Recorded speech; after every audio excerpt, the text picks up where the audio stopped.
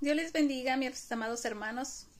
Quiero agradecer a Dios primeramente y al pastor Roger y a Cristo Libera por todo lo que está haciendo por cada uno de nosotros. Gracias por permitir que sus enseñanzas lleguen hasta nuestros hogares.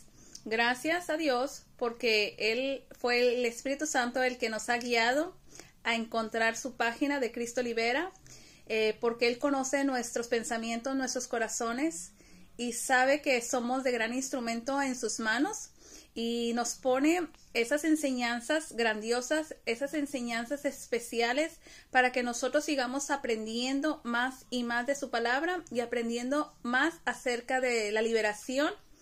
Eh, estoy muy agradecida porque Dios ha hecho grandes cosas en mi vida, en mi familia y, gracias a Él, al Espíritu Santo, que nos está guiando para conocerle más y más y poder ser esos instrumentos en sus manos y, poder hacer grandes cosas, como dice su palabra, ir a ser discípulos, predicar la palabra, sanar enfermos y echar fuera demonios.